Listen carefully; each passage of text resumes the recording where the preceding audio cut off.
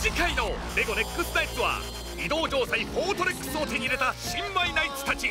しかしジェストロはさらなる手で王国を攻撃する模様。どうやら新しい魔法の書を手に入れ続々とモンスターを呼び出しているようです。おっとそれだけではありません。これはワルド移動城塞でしょうか。